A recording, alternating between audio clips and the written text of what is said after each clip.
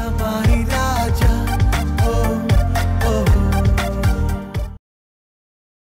দেখি ঈশানকে কে বাঁচায় মা এতটা বাড়াবাড়ি করছেন কেন? শাট আপ আর একটা কথাও আমি শুনতে চাই না। নামো। বিবাস চোখ বেঁধে দাও। তোমাদের একটা জায়গায় নিয়ে যাব। সেখানে আমি একটা কথা বলব। সেই অনুযায়ী তোমাদের কাজ করতে হবে।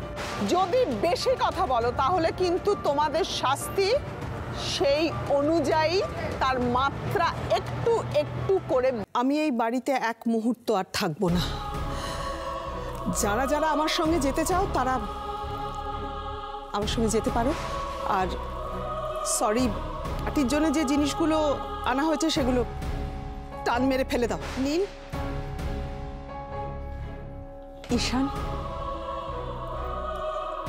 নীল তোমরা দুজন এইভাবেই একসঙ্গে সারা জীবন থেকো। যতই বাধা বিপত্তি আসুক না কেন এভাবেই থাকবে এভাবেই যেন তোমাদের ভালোবাসা অটুট থাকে। স্যার স্যার সর্বনাশ হয়ে গেছে। কি হয়েছে সেটা বলো না। আরে কি হয়েছে বলেন? জামিন হয়েছে কিন্তু পার্সোনাল বন্ড লাগবে। কুড়ি কোটি টাকা। হ্যাঁ তো টাকাটা দিসনি কেন ঈশান? আমাদের সব অ্যাকাউন্ট সিল করে দেওয়া হয়েছে মা। বাবাকে ছাড়িয়ে আনার জন্য কারুর কাছ থেকে সাহায্য নিবি না তুই? মা মা তুমি এইভাবে কেন বলছো? বড় লোকদের টাকায় তো এখনও গরিবের রক্ত লেগেই থাকে নীল। কীভাবে তুমি তোমার জীবন দর্শন বলছি বাড়ি নিলামের কাজ কি এখানেই শুরু করবেন? বাড়ি নিলাম মানে? ঈশান ওনারা কি বলছেন বাড়ি নিলাম মানে? হ্যাঁ মা। আমি তোমাকে না জানিয়ে বাড়ি নিলাম করার সিদ্ধান্ত নিয়েছি। দাম যে বেশ ভালোই উঠবে সেটা বলাই যায়। কাগজপত্র সব এখানেই আছে তো? হ্যাঁ এখানেই আছে খালি আপনি একটা সাইন করে দিন তাহলে আজকে সন্ধ্যাবেলা থেকে আমরা নিলামের কাজ শুরু করে দেবো। না। থ্যাংক ইউ পনেরো কোটি এক। পনেরো কোটি পঞ্চাশ লাখ। ষোলো কোটি সতেরো কোটি পঞ্চাশ লাখ। কি অবস্থা বলো তো? ঈশান তো এখনও কোনো টাকা জোগাড়ই করতে পারল না। আমারও তো খুব চিন্তা হচ্ছে। আর এই সময় দিদি ভাই নেই। বলা নেই কওয়া নেই। কাউকে কিছু না বলে কোথায় চলে গেল বলো তো? আরে সেটা যদি জানতে পারতাম তাহলে তো হয়েই যেত ভাইয়া আমার মনে হচ্ছে অভিমান করে বোধহয় চলেই গেল।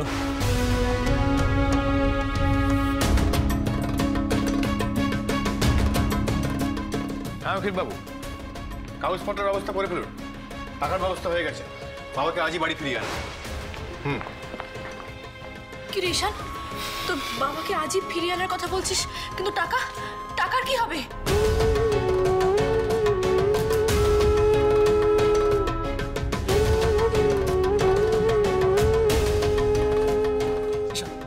এতগুলো টাকা তুমি কোথায় পাবে?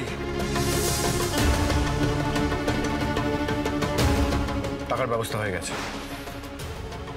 ঈশান এতগুলো টাকা তার জোগাড় হয়ে গেল? কি করে? ঈশান ঈশান কুড়ি কোটি টাকা এত টাকা তুমি ঈশান মানে আমাদেরকে তুমি বলতে পারো। ঈশান বলো তো কোথায় পেলে? ঈশান বলো বলো। ঈশান বাবু?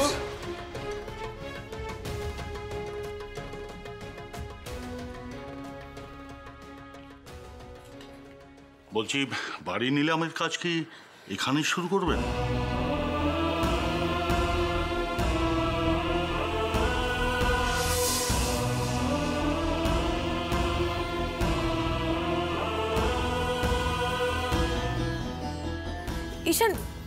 বাবু কি বলছেন? বাড়ি নিলাম মানে? ঈশান ওনারা কি বলছেন? বাড়ি নিলাম মানে? হ্যাঁ মা। আমি তোমাকে না জানিয়েই বাড়ি নিলাম করার সিদ্ধান্ত নিয়েছি। কারুর কাছে হাত পাতাচ্ছে নিজের জিনিস বিক্রি করে বাবাকে ফিরিয়ে আনাটা অনেক বেশি সম্মানের। তাই না মা?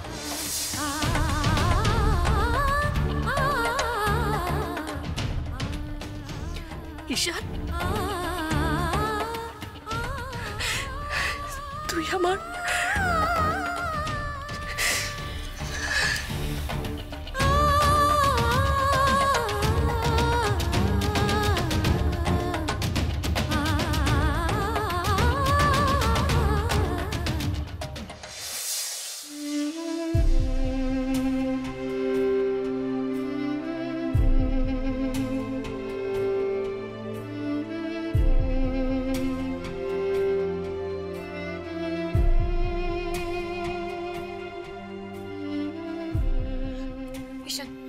বাড়ি বিক্রি হয়ে গেলে আমরা কোথায় থাকব? উনি এসব কি বলছেন ঈশান? মা আপনি কিন্তু আগে আমায় বলতে দাও ঈশান। এই সম্পত্তিটা এখন আমার তাই আমি আগে কথা বলব।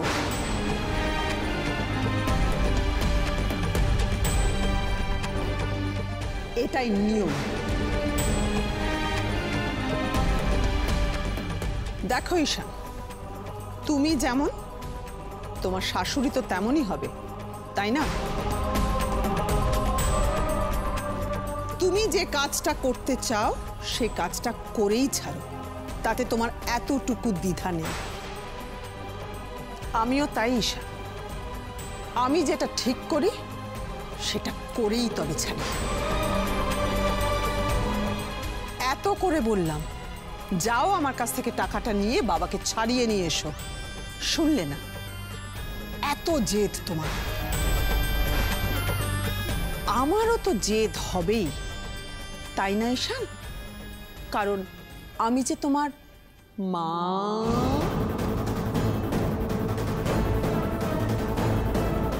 তাই আমি ঠিক করলাম অন্যের হাতে এই বাড়িটা চলে যেতে দেব না। কি কারণে করলাম, কেন করলাম, সেটা আমি এখন কিচ্ছু বলব না। কিন্তু এ বাড়িটা অন্য কারোর হাতে যাক, সেটা আমি চাই না। তাই কিছুটা লস করেই কিনলাম। নিন বিআই মশাই আপনার বাড়ি, আমি আপনাকে ফিরিয়ে দিলাম।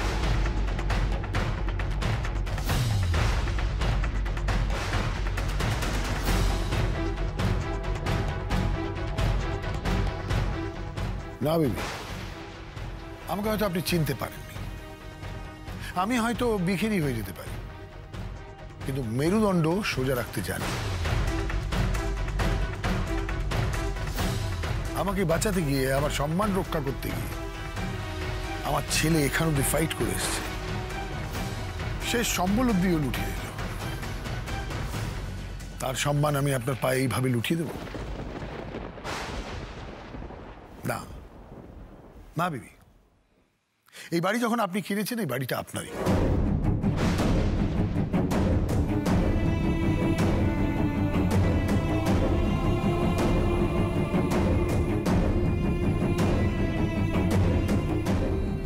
তোমাকে সম্মান জানাব না বাবা। তবে একটা কথা বলি। যেদিন তোমার কোম্পানি সবকটা পোস্ট থেকে আমি রেজিগনেশন দিয়েছিলাম সেদিন তুমি আমাকে একটা এক টাকার কয়েন দিয়েছিলে। সেটা কিন্তু আজও আমার কাছেই আছে। মার ঝাড়ু মার ঝাড়ু মেরে ঝেঁটিয়ে বিধে কর। যত আছে নোংরা সবই ঠ্যাংরা মেরে। ঘর থেকে দূর কর ঘরের ফিরিয়ে দে না হাল। না না না না মরছি না না না না না মরছি না তার চেয়ে তুই বল। কি? ছিছি ইত্তা জঞ্জাল ছিছি ইত্তা জঞ্জাল।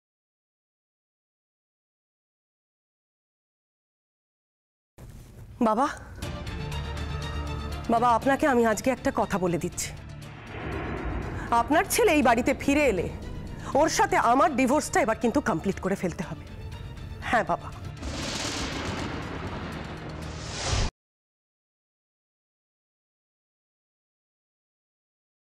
তো গয়নার বাক্সখানা সবার সামনে নিয়ে আয় দেখিনি?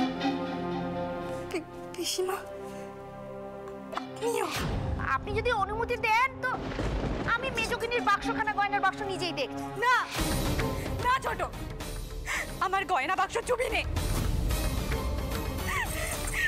আমি আমি আমার গয়নার বাক্স কাউকে দেব না। কাউকে দেব না। এগুলো এগুলো আমার গয়না। আমি কাউকে দেব না। গয়নার বাক্স কাউকে দিতে হবে করি মা আমি জানি আপনি মায়ের গয়না চুরি করতে পারেন। না